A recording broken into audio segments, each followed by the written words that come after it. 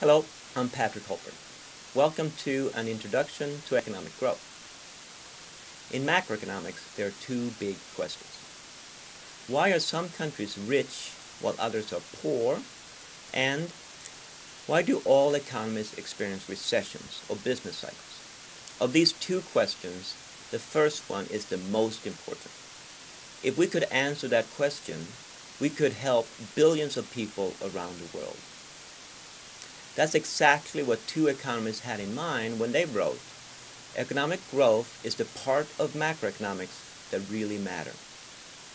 Robert Lucas, who won the Nobel Prize in Economics, asked the following question. Is there some action a government of India could take that would lead the Indian economy to grow like Indonesia's or Egypt's? If so, what exactly? If not, what is it about the nature of India that makes it so?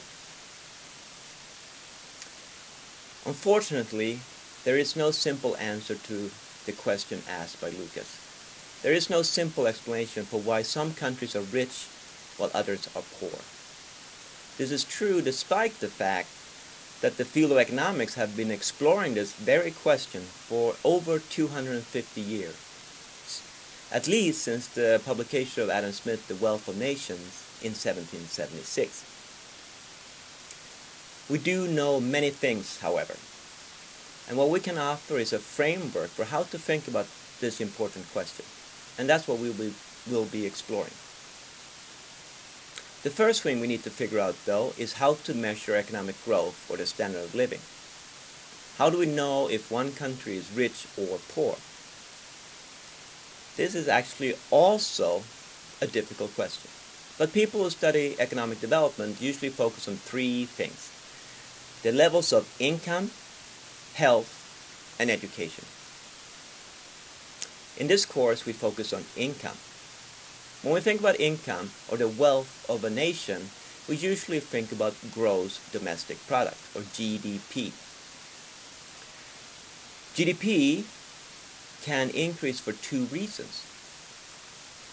Either the quantity of goods and services produced by an economy or country can increase, or the level of prices can increase.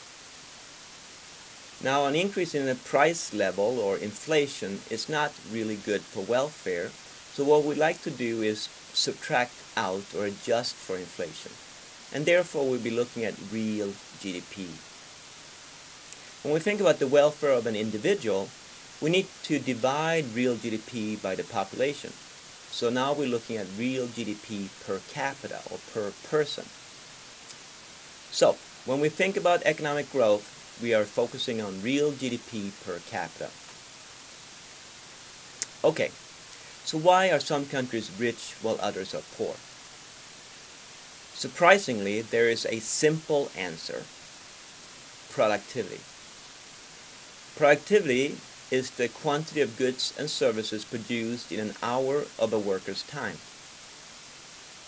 Using that definition, the answer becomes highly productive countries are rich, countries with low productivity are poor. This is not a real answer or an explanation for why some countries are rich while others are poor, because it begs the follow-up question. Why are some countries productive while others are unproductive? This is what we're going to be pursuing next. However, I would like you to think about this question right now.